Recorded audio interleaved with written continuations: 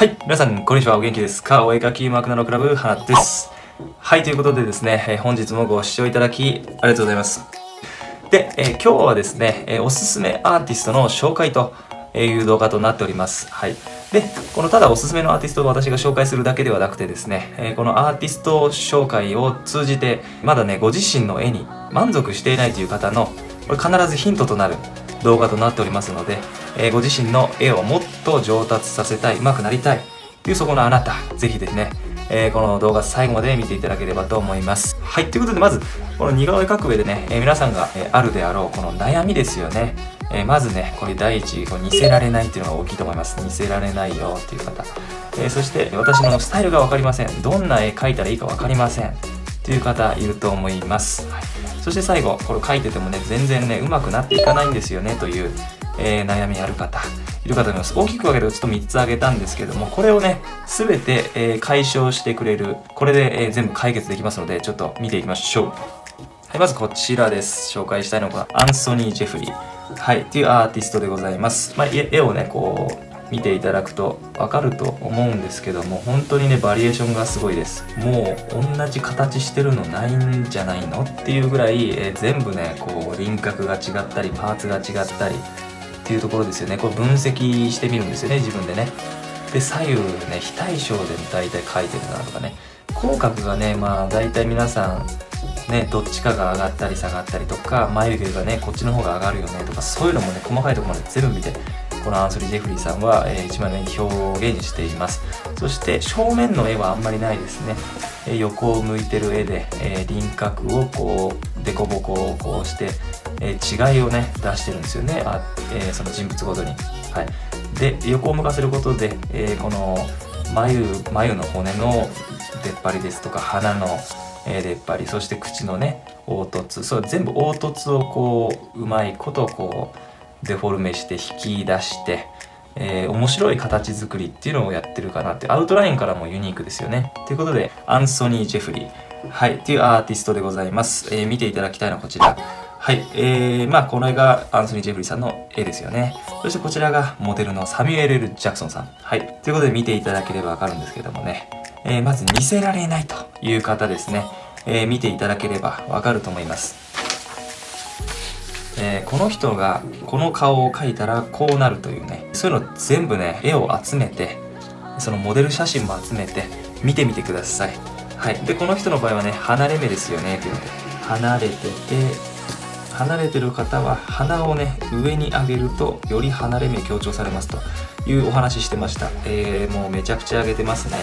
はい。そしてパーツ一つ一つやっぱでかいですよね。やっぱ海外の方ということもあってそれをしっかりと出せてますよね。で口もねこう唇が結構しっかり分厚い感じ。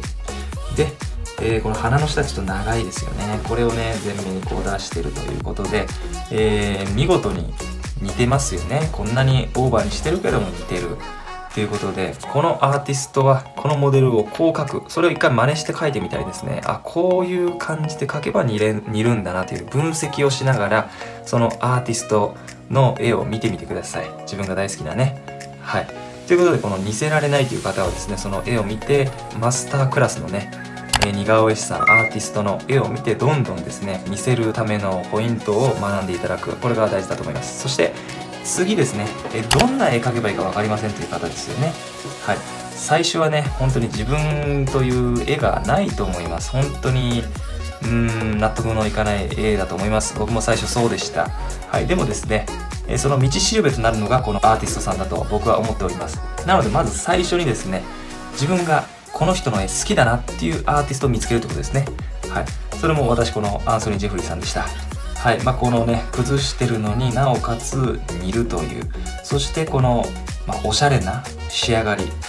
えー、そしてこの僕は実はこのリアルタッチも好きでですね。えー、このリアルな描写この影とかねこういった仕上がり1枚に仕上げる力がすごい高いですよね。アンソリー・ジェフリーさん。ということで、えー、自分のね、えー、好きだなこの人ね好きだなっていうアーティストさんを、まあ、何人か見つけてください。1人見つけて、まあ、1人をねこう全部やってもいいんですけどその人のね型落ち版みたいになってしまうんで、え好きなアーティストを何人か見つけて、えそしてその何人かの絵をこういろいろね試行錯誤して真似して描いてみてそれをちょうどね足して割ってみると自分が一番好きなところだけ撮ったねこう絵にねだんだんなってくると思いますので、はい、まずはですね好きなアーティストを何名か見つけてそして真似をしてみる。ちょっと難しいという方は本当1人でもいいんで一回その人にどっぷり入ってみてください、はい、そうすると、えー、必ず自分だけでは書ききれなかったこうスタイルっていうのが身についてきますので絶対上達します。はい是非このスタイルが決まってないという方やってみてください、はい、そして絵が上手くならないという方ですね。これもこのアーティストですね。まず師匠を見つけるメンターを見つけるというような、えー、感覚でやっていただければと思います。どんどんこう絵を見てください、はい、好きなアーティストを見つけてもいいんですけども、まあ、いろんな絵見てくださ、い、まあねこの可愛い絵が好きとかねいう方はこういう絵見ますよね。ちょっと私ジャンル違うんですよね。この人の絵ちょっと違うんでもういいです。っていう方もいると思うんですけども、えー、ぜひですね一回それちょっと置いといていただいてこの絵もねパーツだけねちょっと可愛くしたら可愛くなるんですよ。下書きはこうえーまあ、こんな感じですよね。もうざっくりいきますけど。こんな感じの、えー、鼻こんな上にあって口がこんなですよね。これはかなりリアルな、えー、色塗り、えカラーリングとリアルなね、えー、描き方をしてるんでそう見えるだけで。可愛いね。こう描き方をしたら可愛くなるんですよね。こんな感じで。こ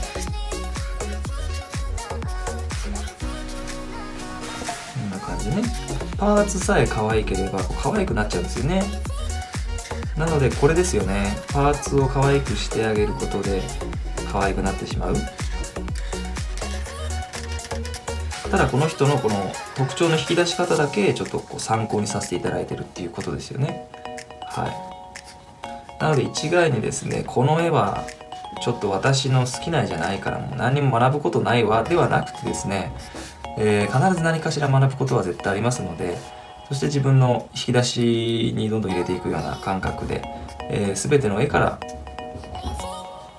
全ての絵から学んでいただくようなねこれ可愛いですよね。はい。こんな感じでこのリアルな絵でもちょっとね、えー、感覚を変えて視点を変えてちょっと自分にもね使えるんじゃないかなっていうことでやっていただくと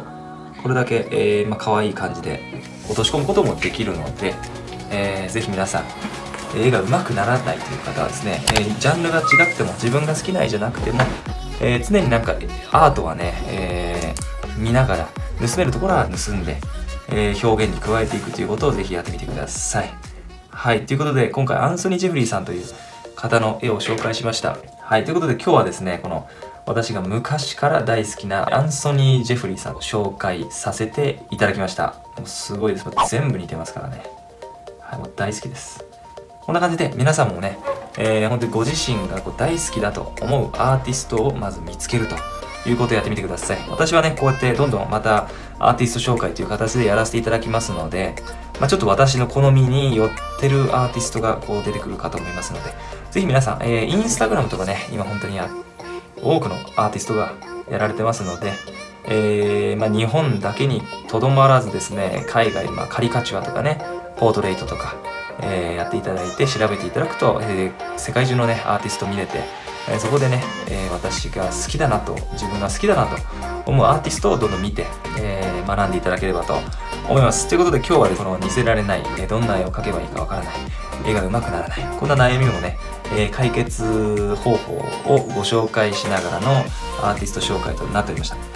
ということで、この動画がですね、ちょっとでも役に立ったという方、またね、えー、アーティスト紹介してほしいですよという方はですね、ぜひグッドボタンお願いします。はい、そして、えー、チャンネル登録してないという方、えー、ぜひチャンネル登録してください。絵が上手くなりたいという方の有益になる情報を私と Ado でね、どんどんどんどん配信していきますので、えー、ぜひチャンネル登録お願いします。はい、ということで、今日の動画はこれぐらいとなっております。はい、えー、本日もここまでご視聴いただき、ありがとうございました。また次回の動画でお会いできればと思います。それでは、またお会いしましょう。さよなら。